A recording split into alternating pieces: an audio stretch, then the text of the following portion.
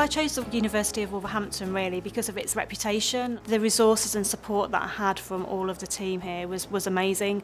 I came close a couple of times to thinking I can't do this because of changes in career, but actually they motivated to ensure that I finished it and supported me to make sure that I did. So I have to say they were absolutely wonderful. I, I couldn't recommend them enough.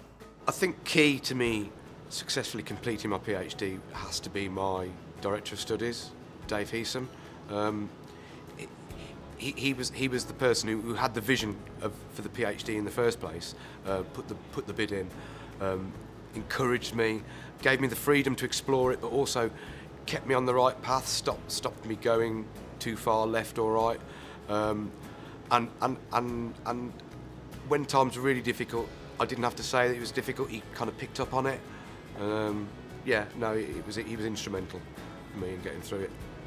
I found the fact that I had tutors and lecturers really beneficial. Um, it was something that I'd, as I'd previously done distance learning, it was something I wanted the interaction, I wanted the, the weekly lessons, I wanted to be able to you know, talk to other students about it. So I found that particularly useful. Yeah, there's, there's probably two instances where I've really felt that the, the you know, that it's hit me that what I'm doing is fantastic. And the first of those was when I was presented at a conference in uh, Germany at the Bauhaus University and I presented a paper and I was stood up there in front of all these international professors and stuff presenting my paper thinking wow how, how did I get here? Um, and I think just recently it really hit home when I handed when I submitted my thesis and I handed it in at the graduate school and that was four years of my life. And it was just a fantastic moment just really great when I left the university, I was lucky enough to be able to get a place on a KTP programme, that's Knowledge Transfer Partnerships. Um, it's a um, postgraduate scheme for high calibre students who achieve a 2-1 or above. I genuinely feel that without the chance to do the PhD, I wouldn't, I wouldn't have the chance to go on to do this KTP, primarily because the skills I needed to implement the, the, the, the KTP I've, I've learned during my PhD time.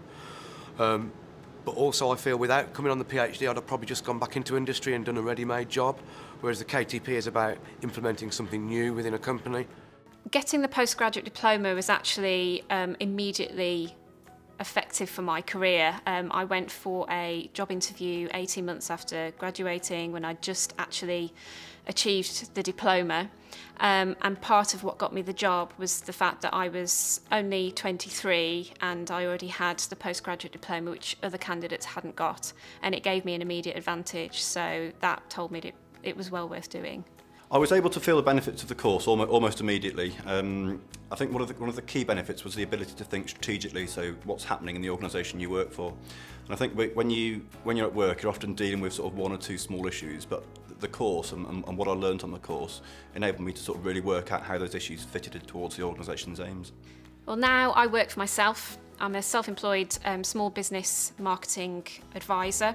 Um, I do workshops with small businesses teaching them how to write their own marketing plans and that sort of thing. Something that I was actually taught um, during the, uh, the diploma was how to write marketing plans and do a lot of sort of practical things.